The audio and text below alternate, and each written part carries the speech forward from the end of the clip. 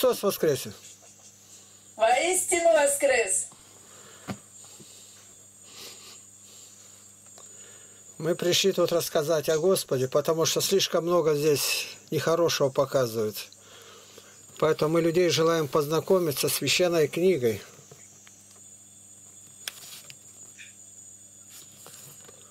Ну, не все это желают. А бывает так, что долго беседуем, человек ходит в храм, сходит, приобретет, начинает как-то первые шаги делать к Богу. Потому что без Бога жизни-то никакой нет. Один обман, сиюминутное наслаждение и вечное мучение. Я все вспоминаю, Надежда Константиновна Крупская говорила, 17% развода – это национальная катастрофа, а сегодня под 80%. За время перестройки, только за время перестройки 20 лет, в России сделано 120 миллионов абортов. Это это большое государство исчезло. И правители ничего нет. Единственный правитель в России, который понимает и принял законы, это Рамзан Ахматович Кадыров. Провел в законе, как преступление государственное, садить будут и все прочее. И притом мусульманин, нам не стыдно это человек в такой опасности, через него эти ворота, террористы все идут, он один там заслонил, буквально стоит. И, и люди всячески поносят его. Народ совершенно ничего не понимает. Вот мне Господь позволил издать 38 книг, я в университетах там преподавал, и мы проехали 650 городов из стран от Владивостока, из Барнаула до Лиссабона, и были в Чечне. Я ему подарил книги, получил от него благодарность. Искренне такие слова – Видишь как. А свои... А с какого города? Барнаул, Алтайский край. А.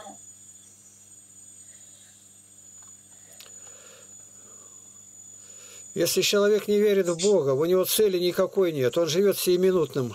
Здесь вот что делает? Открыто совокупляются, безобразничают. Половина голые лежат мужчины, процентов 80 мусульман, я уже 80 дней здесь нахожусь. И как жить-то? Какая-то жизнь? Вот прямо аж трясутся, умирают. А как же люди шли в пустыне, подвязались монахи, и жили, побеждали эту плоть. И притом ничего нету положительного. Ты у человека показать нечего. Непрерывно едят и пьют. Даже здесь перед экраном. И нас спрашивают, а вы зачем пришли? Затем мы знаем Бога, верующие, православные христиане – пришли засвидетельствовать о тьме глубокого ущелья, где люди находятся, и показать луч света, как выйти, как найти Бога. Потому что за подобные дела Слово Божие говорит, готовится огонь, вечное мучение с дьяволом в озере огненном. А праведники будут со Христом в вечном Царстве Небесном. Это же не, не выдумка какая-то. Люди, которые все это испытали, свидетельствуют о себе – я вам советую посмотреть. Фильм такой есть «Сбежавший из ада». Он сам себя сделал, врач, проверить, как есть-то. И умер. И дальше еще ему там было показано, а его оживляли, и он ожил. Это в Америке было. Вот сейчас вышел маленький ролик, небольшой, минут 18, называется «Интервью у дьявола». Посмотрите. Интервью у дьявола – он как дьявол, сидит такой в виде человека, в галстуке, все, и журналист в лесу. И он его спрашивает, какая ваша самая большая победа? Он говорит, то, что я сумел убедить людей, что меня нет. Дьявола нет, а очень нас считаем, избави нас от лукавого. А кто у тебя самый большой враг? Он аж зажмурился. Он меня с неба сбросил. Он скоро придет опять, и он со мной покончит. Да, я был, занимал большую государственную должность. Он был херувим, серафим там осеняющий. Нас было много. Он сколько много? Тысячи и там миллионы нас было. Но все пошло не так, как мы думали. Я везде лгал, и меня сбросили оттуда. Он придет опять, терпеть не могу его. Му! Аж зашкрежетал зубами. Это на Христа он так. Ему зло сделать. А как зло сделать, когда он на небе? А Христос людей любит. Так я стараюсь людей в ад затащить и Христу доставить скорбь. Открыто все. Библия так и говорит. А ему какая польза от этого? Пользы никакой, но досадить Богу. Понимаешь, это все это интервью дьявол, просто запомните. Если вы желаете больше узнать, можете на наш канал зайти. У нас большой канал здесь, называется «Во свете Библии». Большой канал, очень большой, 15 100 роликов. Мы строим православную деревню, большая миссионерская работа, лагерь детский 45 лет. Без помощи государства тысячи детей подняли. Это Бог делает. Бог. Нам есть что показать? Почему в посла... Дай Бог вам здоровья. Дай Бог вам здоровья. Это Яков пишет, говорит, покажи мне веру твою без дел твоих, а я тебе покажу из дел моих. Это Бог делает. И власть советская нас гнобила, и эта власть давила. И ничего не могли сделать дети на крыше, такая крыша маленько наклонная, с плакатами, а на плакатах написано «Коммунисты, людоеды, займитесь своей душою». И кричат «Не заходите, не заходите». И все это в фильме снято. Это надо видеть, как а на улице, там кто, там из деревни, деревню с нуля строим. Прибежали из деревни, с ними разговаривают. Вам зачем это надо? 18 комиссий за два месяца краевых за 150 километров от Барнаула приезжали и полиция, и пожарная, и КГБ. И вот мешает им это. За 45 лет ни один ребенок не заболел, ни один не отравленный. Больные делаются здоровыми, не утонул 45 лет. И ни рубля не дали, кроме гонений. И что? Они только крепше нас сделали. Как англичане говорят, если дело, которое ты делаешь, не терпит сопротивления ни от кого, оно не устоит. И это все снято. Фильм сняли о нас, занял первое место на международном киноконкурсе. А второй фильм документальный о моей биографии «Златоуст из Потеряевки». Первое место в России. Документальные фильмы. То есть люди на другом уровне понимают, что выход один только – покаяние, примирение. Сейчас один написал на меня, мы когда ездили, мусульманские страны захватили, и в доме мулы ночевали. Ночевали, ходили в мечеть, мы люди мирные, так, а говорят, это он не верующий на меня, он не христианин, он мусульманин, он по соседству живет. Его не Игнатий звать, а там Илхам, вот так. Интересно прямо. Каждый день какая-то новинка. Я и не знал, что я мусульманин, и Илхам меня звать. Это сегодня выставили. Ну, когда с Богом, то понимаете, всем интересно, всем, кто бы ни приехал – вот директор Кестонского института в Лондоне, она услышала про нас в Великобритании, связалась со Станкино, главная радиостанция Советского Союза, и сюда приехала, ей дали сопровождающую. А мы поем «Лагерь стан степи на навозной куче, что может быть круче». Землю-то получили, а мы большая навозная куча, она там лет 150, мы ее разровняли, и на ней нас такие строения, где ночевать. И все это ну, надо жить красиво, интересно и в бедности. Ну, не так. Он вот то Путин, Путин. На что нам Путин будет? Огород копать, что ли? У него своих дел хватает. Если человек верующий, так он наоборот. А вы что, Путина поддерживаете? А он ходит сам, он не Брежнев, за, не, за ним реанимации не ездит. Он еще он на поле в хоккей играет, на ледяном. Да, мы молимся, молимся за Дмитрия, это Медведев, за Дональда, Трампа, мы молимся за всех. Молимся за турецкого правителя, чтобы войны не было. Нам повеление от Бога.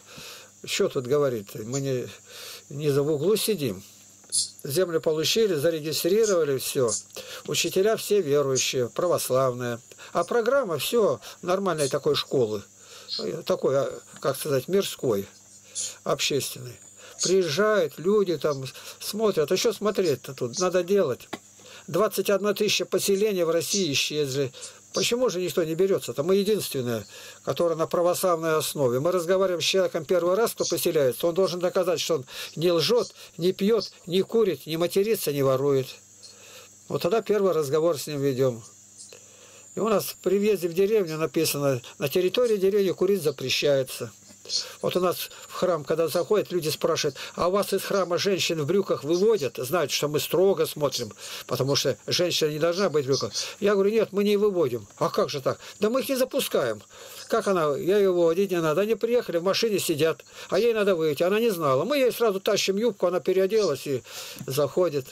Представители власти, полиция приедет, она как одета? Мы юбку вытащили, прокурор, пом прокурора. Она оделась, тогда запустили Чего боитесь? Да вот они что-то, да ничего они не сделают, ты молишься, они наоборот тебе помогут. Человеку нужно поддержку дать. Если человек не верит в Бога, ему все страшно. А с Богом, Библия говорит, тот, кто в вас, больше того, кто в мире. Все. И э, послание к римлянам, 16 глава, 20 стих, и говорит, Господь сокрушит сатану вскоре под ноги ваши. Обещание Бог дал, пусть выполняет, чтобы сатану сокрушил. Значит, любое дело начни, так интересно будет, и находятся помощники отовсюду.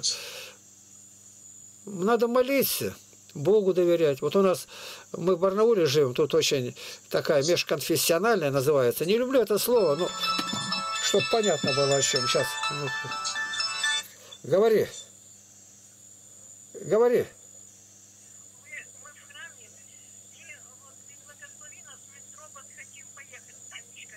Давайте с Богом. Бог благословит. Поезжайте. Давайте. Жена звонит. Тут одна сестра умерла, дети остались, и вот навестить надо, там увезти подарки. В храм сходили, из храма, видите, как у верующих. А так-то кому они нужны дети-то? Муж глухонемой остался, да и на ногах редко стоит. А их всех... Вот начнешь что говорить, перебьют обязательно. Если человек верит в Бога, у него все по-другому. На душе мир и покой. Я вот всех спрашиваю, сколько мне лет? начинает гадать. Я хотела задать вам этот да. вопрос. И что интересно, дети, безошибочно, дети знают, а взрослые ошибаются. Дети, прям совсем, ну, там, бывает, лет 10, меньше даже, почти никогда не ошибаются. Ну, сколько вам, 80, 90? Ровно. 10 июня 80. 80. 10 июня. Дай Бог здоровья. Так здоровье. Здоровье это разное бывает. Я еще одной таблетки не съел. Говорит, а почему вы тогда, чем болеете? Вот пенсионеры, как болеть? Я говорю, а что это такое? Я никогда не болею. А почему? Да, то, что где-то болит, это естественно, организм уже устал. Даже в машине и то там железо устает. То где-то колени там не двигаются, я их не замечаю. Я на велосипеде, у меня три голубятни в деревне здесь. А с голубями лазишь туда-сюда, а это голуби воркуют. Если ты любишь, о, это особая статья. У нас большая губернская газета «Алтайская правда» напечатала статью «У злого человека голуби не живут». Я говорю, а у меня три. Я трижды не злой. А у вас, я говорю, ни одного нет, а нападаете на меня. На меня сильно нападают, то, что я много распространяю. За последние 8 месяцев пришлось заблокировать больше 9 тысяч человек только. Тысяч. Всякими матерками там, и где-то уже 100, наверное, 25 роликов против меня в интернете. А ничего нет, они там, у них ничего нет, они вокруг моей колокольни, как Лев Толстой сказал, бегают. -то. Ну и только делов-то. Если забыть про интернет, говорят, у меня пищеварение работает нормально. Надо жить интересно, красиво и в бедности. Это я постоянно повторяю. А если злиться, надо еще, то некогда тебе работать будет. А что пенсионер делает? У, я вот в интернете по местному времени в 2 часа я уже за компьютером ночи. У меня огромная почта идет. 36 тысяч подписчиков и 34 миллиона просмотров. Люди со всего мира идут, им интересно. Интересно, потому что мы не монтируем ролики, а вот как есть, вот снимаем, вот все. Вы можете потом зайти на наш ролик и посмотреть, как мы с вами беседовали.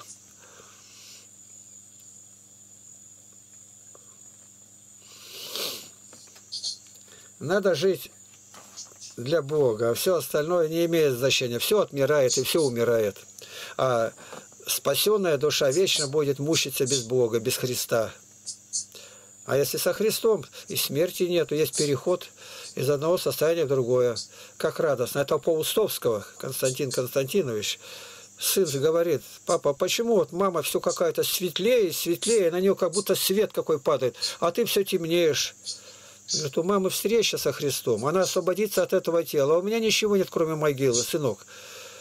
Каждый день меня ближе к могиле, а у матери каждый день ближе с царем царей. Навсегда. Это тело потом воскреснет обновленное, бессмертное. Он все знает. У меня веры нету. А по-устовски, ну, это не Демьян Бедный. Это не Фадеев. Он не прославлял партию. Он знал Бога знал, а покаяния не было. А почему покаяния не было? Причина разная, но главное, это не раскаянный грех какой-то. Человек боится сказать, что он что-то делал. И, как правило, это связано с прелюбодеянием. Вот я сегодня просмотрел ролик, я много смотрю, мне необходимо это знать. Э, Сахаров Андрей, э, академик, трижды герой социалистического труда, а этому, водородную бомбу изобрел. Я новое нашел. И он, когда уже освободил его в 86 году, ему он полностью заблокирован был, его вывезли прям с улицы, схватили, академик. И все, он стал за людей заступаться, диссиденты называются, за политзаключенных и все. И его под надзор, и туда увезли, и никак нельзя было. А как только Горбачев-то стал, и сразу ему телефон принесли, видно, сидит Михаил Сергеевич, звонит, разговаривает. Он говорит, вы можете выехать в Москву, вы свободные. Горбачев очень хороших советников имел. Его как встречают на вокзале, там толпа, страшно смотреть. А милиционер-то охранял нельзя, теперь, говорит, сынок, журналист, теперь можно к Сахару подойти. А до этого нельзя. Ну какая-то страна, когда боятся, человек уже в годах, уже сидит, жена внезапно умерла. И никак это нельзя. И вдруг я узнаю, он только вернулся, и Горбачеву говорит, надо дать амнистию политзаключенным. А я как раз сижу в это время в тюрьме, и в это время он говорит, и выходит говорит обо мне. Это было 15 марта 1987 года. Вышел указ Президиума Верховного Совета СССР об освобождении всех политзаключенных. А нас в политической статье там, ну, верующие. И все, освободили 25 марта, меня выкинули оттуда. 210 политзаключенных было в стране. Люди-то многого не знают. А я сегодня впервые увидел, как он ходатайствует о тех, которые находятся в заключении. Еще могу сказать, Господи, сделай для него, что можно сделать. Он еврей был, да Христа-то и не признавал. Ну, это опять же только что я знаю из литературы. А может, он в душе и верил, Бог его знает.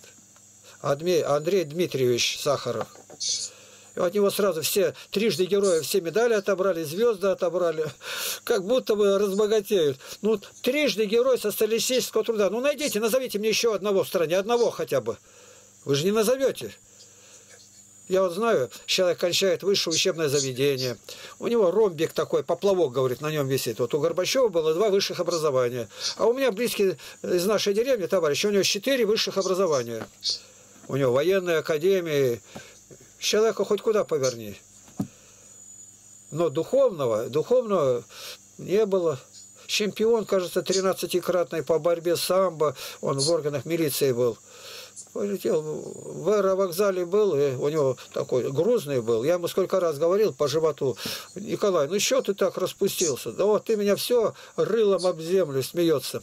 Сразу инфаркт ему и прямо в аэропорту и помер. А он моложе меня был на 7 лет. Так уже лет 15 прошло. Везде-везде надо знать. Лишнего нигде не надо. На днях один лежит мужчина, прям вот как медуза на берегу располз, вот такой. Я говорю, а сколько вес у вас? 150 килограмм. Я говорю, а рост какой? Метр семьдесят три. Я говорю, у меня метр семьдесят два. У меня 65 килограмм. А у вас 150. Ну, а сам... как похудеть? Я тоже хочу похудеть. Как мне похудеть? Очень просто. Вы сначала узнаете причину, по которой человек полный. Пишите. Первая причина. Возьмите. И против, против этого ударьте. Запишите. Карандаш возьмите. Сейчас? Да, конечно, сейчас. Ну, завтра-то не будет. Рулетка нас разлучит, мы никогда не увидим. Запомните, мой канал называется «Во свете Библии». Запишите. «Во свете, Во Библии». «Во свете Библии» Игнатий Лапкин. Если нужно, вы меня найдете в скайпе. По этому имени и фамилии я один на весь интернет. Игнатий Лапкин. А то сейчас бывает внезапно кто-то там заденет или сами неприметно, и все исчезает. Нам не встретиться. Игнатий Лапкин. И, и, Игнатий Лапкин. От слова лапа уменьшительное. Лапкин. Лапкин. И вы сразу найдете. А если вы зарядите через Google сайт и эти же слова вот, а, а, это, во свете Библии Игнатий Лапкин, вы выйдете на наш сайт, там фильмы про нас, там книги мои все находятся, 41 книга, 41 том, мои лично написанные. Вам будет очень интересно. Там материалу не выскажешь какой. Сайт. Сайт во свете Библии Игнатий Лапкин. А если зарядите форум, также во свете Библии Игнатий Лапкин, там 1601 тема. Самым подробным образом. Темы огромные. Ну, допустим, мы сказали, ну, Горбачев, все от рождения до смерти, все его речи. Если Брежнев любого найдете, то есть из позиции веры все рассматривается. Вот. Первая причина полноты, запишите. Первое – обжорство. Не понравится, буду говорить. А, обжорство. А сейчас да я, я попутно буду говорить. Один полный такой и работает поваром. Да я совсем не ем. Я только пробую. Он говорит, возьми с собой кастрюлю, на шею повешь. И где пробуешь, столько и в кастрюлю. Он к вечеру полную кастрюлю ведерную набрал. Он повар, ходит, большая там пека, где. Я вот обжорство, самое прозаическое, неудержанное, посты не соблюдает. По пост, вот сейчас Пасха, а до этого было 7 недель у нас. Ни молочного, ни мясного, ни яйца, и да и то с воздержанием. И у нас сейчас пост будет, вот когда у нас сегодня-завтра начинается пост. Вот, это пост. Второе, лень. Лень, пишите, вторая причина. Вот тоже, ой, я как пчелка работаю. Ты еще не работаешь, как должно. Я могу сказать, как моя мама Мария Егоровна работала. В семье 10 детей живых, не считая еще двое умерли. 10. Отец вот так, руки нет с фронта. На двоих полкласса образования нету, а надо яркой. 12 коров вручную утром, в обед и вечером подоить. А вечером, как уже темняется, идут на ток обрабатывать пшеницу, клеветон крутить. Мы его и не видим дома.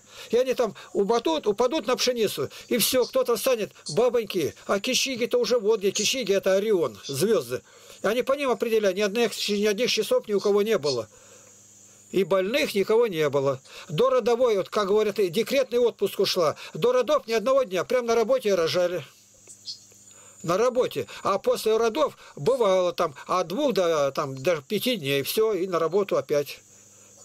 И никаких таблеток не знали. И дети все здоровые у нас. Ни одного больного нет. Такая бедность ну, все-таки 80 лет, да у меня 5 тюрем за плечами. Меня в морозилке там везде 26 лет меня мучили. Лет! Везде выкидывали, с учебных, где сдаю экзамены высшее учебное заведение, меня за шиворот выкинут.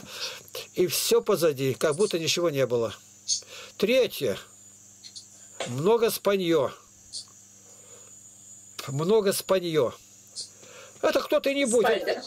Кто любит. А в скобках напиши, днем никогда не ложиться.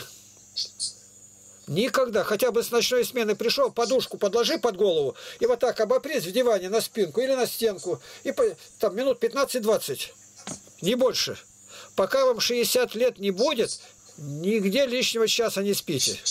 И днем не ложитесь, потому что кровь идет к мозгам, тромб в голову, инсульт и все. Люди как будто бы совсем ошалели. А я хочу полежать. Вот здесь мужики в чат рулетке валяются все. Да вы же отжили уже. И все время едят и пьют. Я говорю, а зачем пьете? Ну, я не водку пью. А еще бы ты водку пил здесь. Водку ты выпил дома. А сейчас язык не, не шевелится. Ну, что вы, мужики, так себя поставили? Копейки не стоите. Пришли-то с одним только. На чужих кобыл скакать. Мусульманам, говорю, у дома 4 жены официально разрешено. За каждую колым. А тут 44 даром и голые. Ты пришел сюда.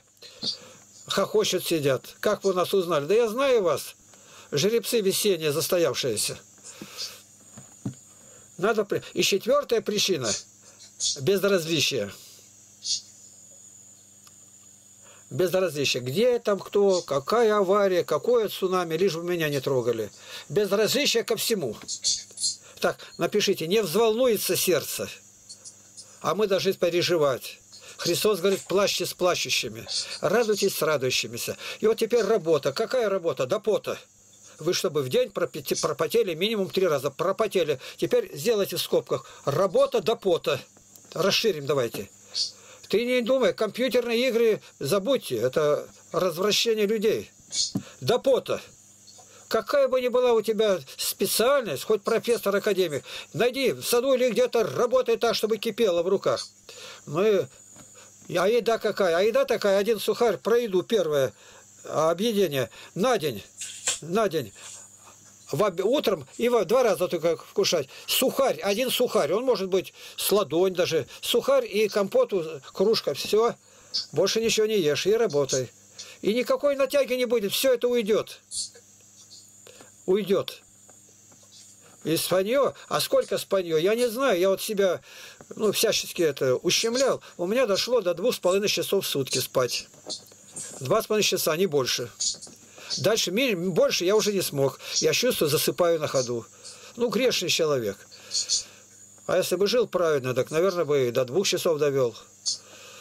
И безразличие, как безразличие? Ну, то ты видишь какая-то неприятность, беда дети беспризорные где-то. Почему ты ни, ни разу не поучаствовал? Бывает, что-то надо. Я не говорю, чтобы усыновляли, это подвиг. А вообще, никогда с мужем не ругайся, никогда ему не перечь, ни одного слова поперек не говори. Мужиков и так в стране не хватает 11 миллионов. Я без мужа. Но хорошо, что без мужа. Написано незамужняя заботится о Господнем, а замужняя о мирском, как угодить мужу, а я в скобках ставлю, никогда ему не угодишь. То есть бесполезно. Теперь, хорошо быть одному неженатому. Неженатый заботится о Господнем, а женатый, как угодить жене. А в скобках напишите, никогда и не угодишь. И поэтому одному спасаться лучше. А женат это как ноги связаны, и как бежать. Ему только скакать. Надо запомнишь, я сказал, и вот это у вас лишнее уйдет. Это не надо. А какой у вас рост? Рост у вас? Рост метр шестьдесят восемь. Метр шестьдесят восемь, а вес?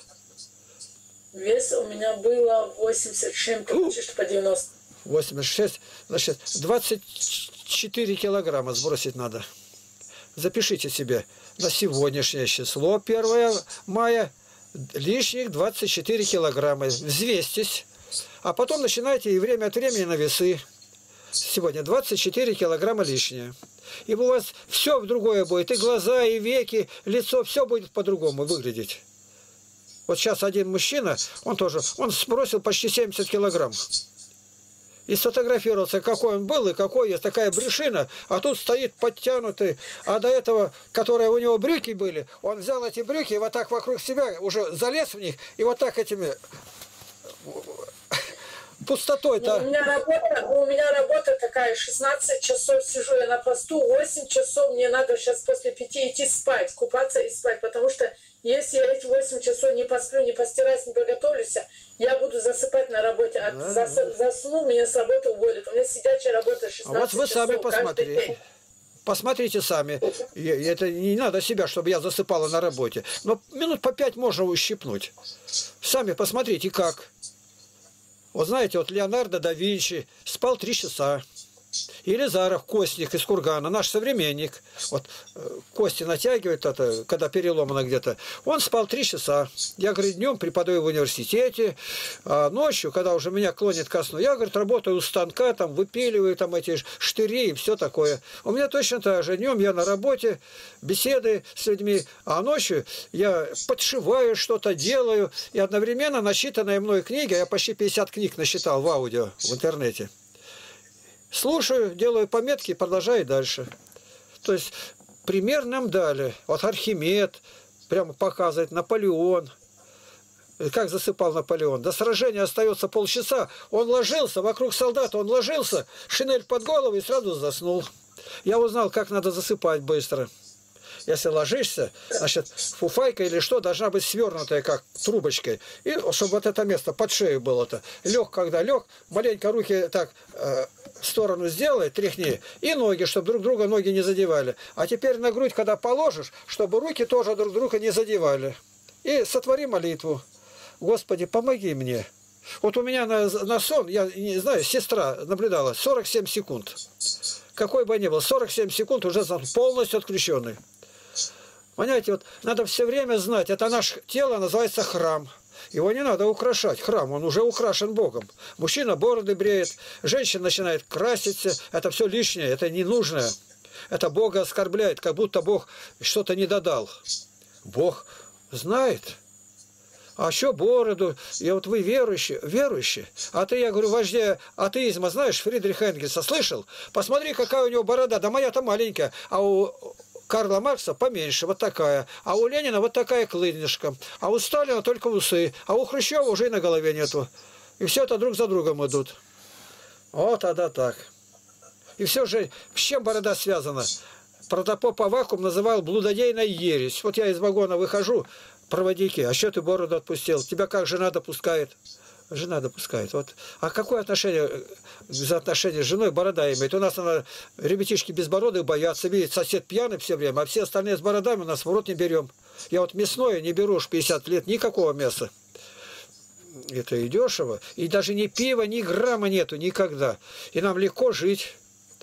Мне везде доверяют. Это с Богом. Мясо вообще не едите? Нету, не, не потому что там это грех, а потому что я обхожусь без него. Я просто обхожусь без него и все. Они говорят, что свинине, я ее в дом-то не запущу. Мы как-то после богослужения, у нас трапезная, трапезная это комната, где обедают, и кто-то там приносили, я раза два-три проповедь сказал, и больше перестали заносить. У нас столько мусульман вокруг нас. Они не едят, ты соблазн делаешь. Да ну еще нам на мусульман смотреть. Ах, вот как. А я смотрю на них, я много у них беру полезное, как они заботятся о женщинах, то есть сохраняют девственность. А на чужих они везде скачут, а своих берегут. Я знаю. А как это так?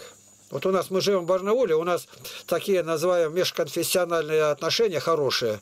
У нас прям дружба идет и мечеть огромную построили они, и григориано-армяны с церковь свою, католики, а большой храм построили.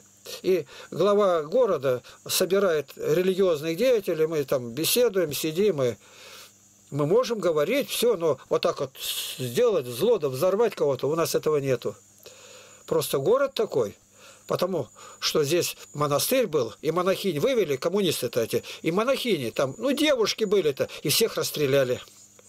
Прямо тут же. И там ударила из земли вода, а они ее все годы валили мусор, мусор возили. А монастырь стоит прямо на, на холме, холм, это возвышенное место.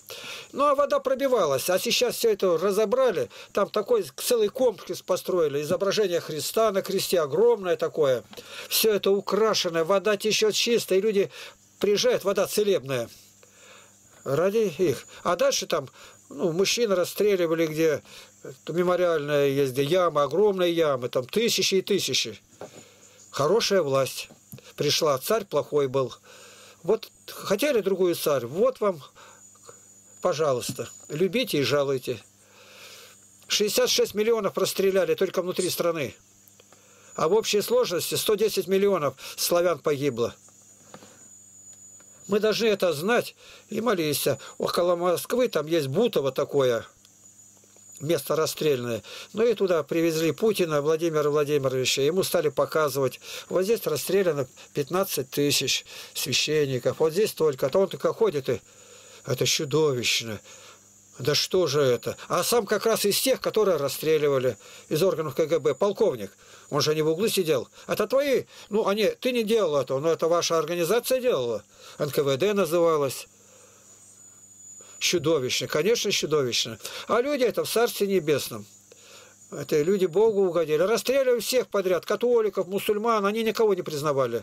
И, наконец, без всякой борьбы рухнули, как будто никогда не было. Вот так. Вот если у вас будет нужда поговорить когда-то, может быть, вы только в скайп зайдите, Игнатий Лапкин, вы меня сразу найдете. Ну, а когда можно? С четырех Москвы до четырех обеда. Вот в это время. С четырех ночи до четырех дня. Легко сказать. Ну, сначала там написано написать, кто такой, откуда, и, потому что много пакостей всяких их принимаешь, а они дальше начинают пакостить.